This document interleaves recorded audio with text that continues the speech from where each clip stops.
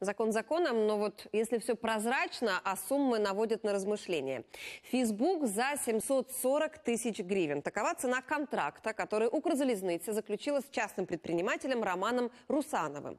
Он должен вести страничку перевозчика в соцсети. И за это корпорация будет платить ему по 117 тысяч бюджетных гривен ежемесячно до конца этого года.